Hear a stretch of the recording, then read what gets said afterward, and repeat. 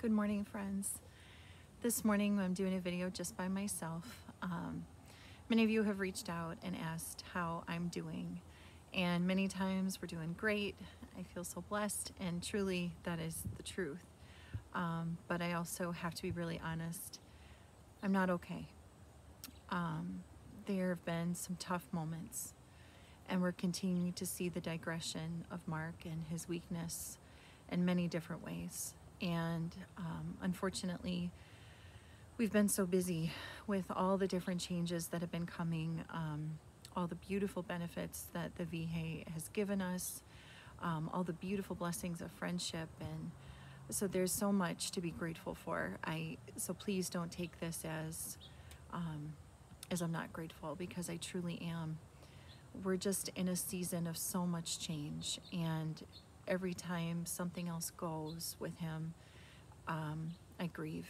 You know, every time we get a new piece of equipment, I have that balancing act of I'm grateful, but I'm also, okay, now I got to figure out how to use it. They show me how to use it. Please don't misunderstand. Um, but then it's learning how to use it in our home. And it's just, it's, it's a constant learning curve right now. Excuse me. So I'm just, I'm struggling.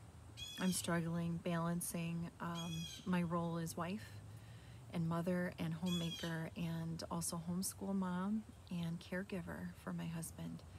And this week, the Holy Spirit touched my heart and told me it's time to resign from my position as religious education coordinator for the St. Mary's and Nativity BVM parishes, which was an extremely hard decision to make because it's, I'll never forget the day um, Mrs. Jones brought the opportunity to me and mentioned that um, they're looking for a religious education coordinator. And I'll never forget when she said that they were considering me for that position.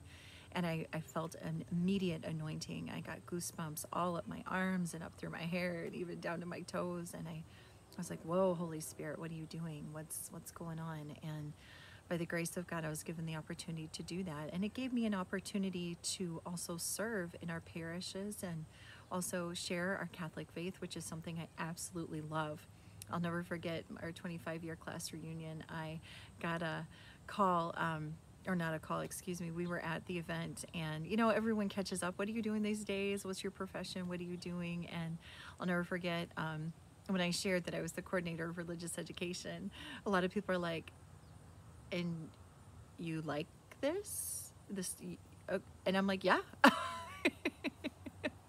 so I'm not surprised. Um, don't get me wrong, I would have never pictured that I would be doing that position, although I love it because sharing who God is and how much He loves us and who we are in His image and likeness is a gift. You know, knowing that we have a Savior and a best friend that died for our sins is huge. And knowing that He's still present today, you know, in the Eucharist and through the beautiful gift of the Catholic Mass and through the sacraments is just such a gift. But also reminding other people that we are also a tabernacle and a temple. My last class that I did um, was talking about how we are a temple of the Holy Spirit and how we how are we treating ourselves as such. You know, we don't always look in the mirror. We don't always see maybe who we would like to see. I think we compare ourselves and judge ourselves and really are our own worst enemy in so many ways. And really, we were made so unique and so genuinely um, beautiful in, in what God wanted us to be and who He wanted us to be. And when we continuously try to be something that we're not, we tend to get caught up in a false identity. And so many times that hurts us more than we think it would help us you know, and don't get me wrong, I've been there, done that. I think we all have stages and seasons of that ourselves. But um, in reality, I kept my position with religious education because I do love it. Um, I love sharing sharing our faith with others. It's just such a gift. But in reality, I really wanted some normalcy. I really wanted to acknowledge, yes, I can do this. I can keep doing this. It gives me an opportunity to get away and be amongst these families and these students. And it just gives me so much joy. But in reality, I needed to face the fact that I'm not taking the time to listen to myself either. My insides are screaming, I'm not okay.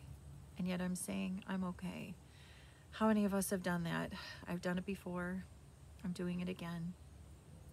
And I'm not okay. And that's okay, right? There's a lot going on. There's so many changes. Um, to see Mark changing so quickly is hard. You know, when something else changes, like we suddenly get a rhythm down, we get a new way of doing this, it seems like it's going really well, and then all of a sudden something else happens and we have to change it. And it's not that um, the things that we have to do are hard per se, it's just trying to focus and listen and um, learn a new way.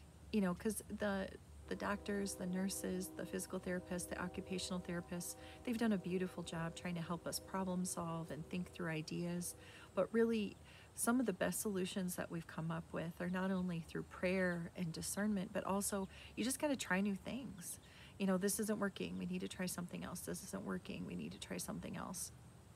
But that takes so much energy sometimes because it's just you're so you know sometimes these situations are so frustrating you know because mark is also battling you know this should be so easy.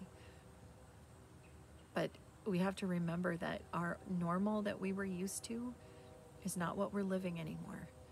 And um, normal is just a thing of the past. Uh, we have a new way a new way of life which is okay.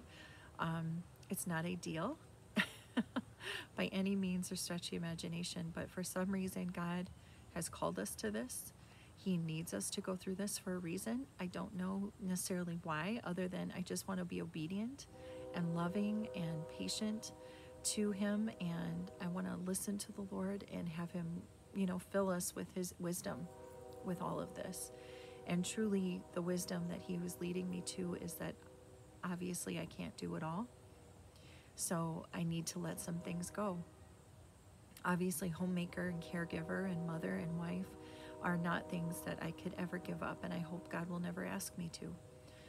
But one thing I could do was give up that position, and that is so hard. I'm one of those people when I take control of, a, not control, but when I take on a responsibility or a commitment, I kind of hold it like a baby and I try to take care of it. and so it's really hard to let it go. Um, but we need to be humble. We need to listen, and we need to to know when is the time to let go of these things. And so, by the grace of God, my assistant Kathy, God bless her, she is taking on that role of coordinator. I ask for her abundant blessings and prayers to be said for her in that time of need. I also ask for uh, prayers for a friend of mine, Jocelyn, who is going to be taking over my catechist role with the Family Catechesis Program. I love the program. I love the people. Um, I love the families. You know, there's so many beautiful opportunities, so many beautiful discussions that we've been able to have about our faith that are just so beautiful. So I, I will pray for that to continue and that um, the Holy Spirit will continue through the catechists um, and the families as they continue to learn and grow in formation through these programs. Um, till then, you know, God calls us to different seasons of time and commitments in ministry. And now is my time to step back and be humble and acknowledge that I need to be home. I need to take care of my family. And I need to give these other commitments to someone who can do them and fulfill them. And that's okay. That's okay. So, um, I'm not okay, but I'm okay. um, I'm going to be reaching out seeing if um, friends can help me with a few things around the house. There's just, again, I took for granted that Mark did so much, and so now I, I'm in a really big stage of learning a whole new way of life, a whole new way to love the Lord, a whole new way to love my husband, and you know, some dear friends from my prayer group. Um, you know, we prayed about this together a couple weekends ago, and by the grace of God, a dear friend reminded me that when I'm serving Mark, I'm serving Jesus. You know, we are all a tabernacle of the Lord. You know, we receive Him body, blood, soul, and divinity in the Eucharist at the Mass. And so I am also serving the Jesus in Mark. You know, and I'll never forget, we had gotten done um, helping him with the shower one time. And I was washing his feet because he can't reach his feet anymore. He can't get them clean. So I'm washing his feet. And all of a sudden, a knowing came upon me and the whisper of, remember why I washed the apostles' feet. Wow. We're here not to serve ourselves. We're here to serve others, aren't we? It's not always about us. In fact, more times than not, it's not about us, it's about others. And that's what God calls us to.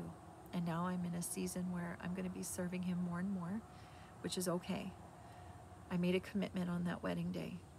I said I do, in sickness and in health, till death do us part. And I meant it. And I will hopefully virtuously continue to serve my husband with great joy and love. But of course, I can't do it alone. Please pray for us, pray for me that I can take the time I need to grieve these stages. That's one thing I haven't allowed myself to do is to grieve every time something else is taken away. I'm, I'm not taking the time. Um, and then I had a very vulnerable moment with a friend, Anne, last Friday, and she asked how I was doing. you ever have those moments where it's like, oh my goodness, I can't say I'm okay anymore. I can't say everything's going great because I wasn't great and I wasn't okay. And by the grace of God, she was that person that God chose for me to be able to comfortable, to take that time to just let those tears flow. God bless her for being a friend that listens to that and is comfortable with that. You know, I hope I can be that for other people. Um, and as um, I left my girls with the co op, I went upstairs. We were at Nativity, and of course, who's present in that beautiful empty space? But Jesus in the tabernacle. And I just kneeled on the altar and I just cried. Every drop of disappointment, every drop of frustration, every drop of fear, every drop of everything that I'm not and everything that I try to be just came flowing out of out of the deepest crevices of my broken heart with some of this. And thank God we cry, right? I think otherwise we'd burst. Each tear falling on the altar, something to give back to the Lord and say, I need your help, Lord. I need your grace. I need your guidance. I need your gifts of the Holy Spirit to help me with these tears so that I know the best thing to do next. And what is the one thing that He tells me in that very vulnerable moment? To love God above all things, the Ten Commandments help remind us exactly who we are and what we are supposed to do to love God. And what is the second greatest commandment?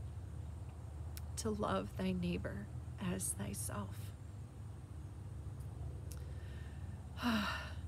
we try to do that with our spouses, don't we? And our kids. Sometimes we forget. We get caught up with the busyness of life. But by the grace of God, God knows. He hears us. He just wants us to come to Him and give Him all of this brokenness, all of this that distracts us from Him. And when we put things back in order, we can truly hear Him and live the vocations that God has called us to. But when we got married, we were reminded that we will never be able to do it alone. We need Christ as the center in our marriage. It's a Trinitarian marriage, it's a sacramental marriage because we can't do it alone. We need God in the center. And so, as we move forward with every step of this, please pray for us. Please pray that we can be honest with each other, love each other, and to love thy neighbors thyself, to love God, and to love each other in these broken moments. Show us a new way to love, Lord. Show us a new way to serve. Help us to know you more intimately and help us to reflect that love to others, no matter where we're at, whether in the grocery store, in the car, whether we're driving, whether we're in church, whether we're at home. Um, Lord, help us to be a reflection of you in this world, even in amidst our suffering. So, friends, thank you. Your prayers mean so much to us. Your love, your support. We have seen those prayers being answered. We have seen and felt those moments of peace, those moments of brokenness that have been suddenly turned around into moments of joy. You know, those are a reflection of a group of people that come together and pray. And what a gift that we have that. Thank you. Thank you. I don't I don't even know how I could ever begin to thank you And just know that we're praying for you too. Because even though sometimes we meet each other, how are you? And we always give maybe that generic response. Hopefully it's not generic, hopefully it's genuine. You know, we might say, we're okay. But if you're not, please know that I am a friend that you can be real and honest with. And if for some reason I can't be that person for you in that moment, it's not because I don't love you, it's because I might just be having a bad day. Or we might just be having a bad day. But we will get through this. We also learn in Scripture that this too will pass. So we just need to be present and we need to be grateful in each and every moment. And hopefully, God will use this for the greater glory of heaven. He's got a plan and we can trust in it. So, Lord, friends, let's close with a prayer. In the name of the Father, and the Son, and the Holy Spirit. Amen. Heavenly Father, I ask for your blessings upon all of our friends, near and far, family members near and far. Help them to know that they are loved abundantly, even though those moments where we can't always be present or maybe be available to them. Help them to know they are loved because they were made in the image and likeness of God and that they are worthy of love. And Lord Jesus, take our blessings, take our suffering, and use it for them. Use it in those moments where they are weak. Use it in those moments when they are most vulnerable, or sad, or depressed, or maybe are going through their own season of darkness. We surrender our brokenness, our, our disappointment, our tears to you, Lord. Use it for the greater glory of heaven. We do this all in your most holy name. Amen. Father, Son, Holy Spirit. Amen. God bless you, friends. We'll be in touch.